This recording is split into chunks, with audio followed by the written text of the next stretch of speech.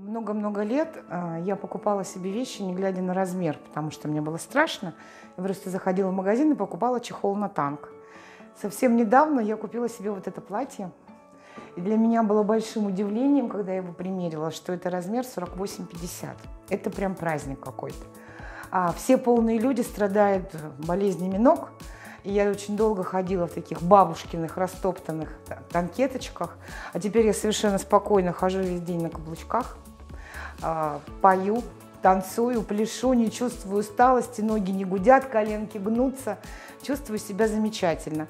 А недавно, когда меня пригласил маркетолог доктор Барменталь сделать это видео для тех, кто еще не решил жить в стройном теле, я поехала в магазин покупать пальто.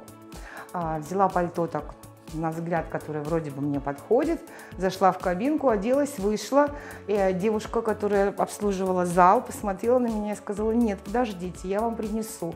И принесла мне пальто 48 размера. Вы представляете, 48 размера. Я его одела, и я прям такая королева. Мне было так приятно, мне было совершенно не важно, сколько стоит это пальто.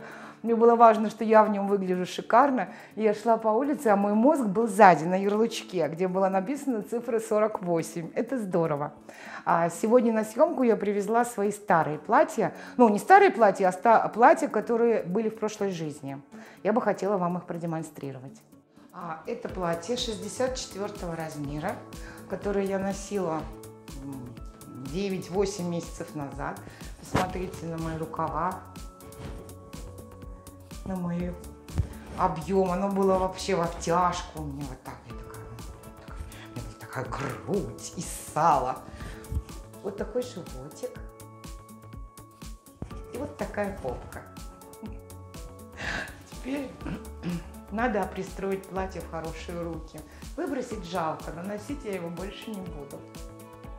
А, вот еще одно платье мое, одно из любимых – который я носила, которое мне было полностью в обтяжку. Сейчас все это висит, болтается, нигде, нигде ничего не наполняется, и я вот в нем такая вот матрешечка. Тоже нужно его кому-нибудь подарить. Вот еще одно платье для красивого розового бегемота, которое стало велико. А, хочу обратить ваше внимание, как ушли плечи. Сейчас они где-то вот здесь у меня находятся. А, и выточка. Выточка платья. Видите, где вот тут было все вот так. И вот так. И выточка была на месте. Сейчас вот она куда спустилась.